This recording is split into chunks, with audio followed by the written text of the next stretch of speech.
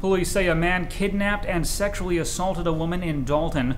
47 year old Dennis Charles Watkins allegedly picked the woman up from a pharmacy on Cleveland Highway Monday.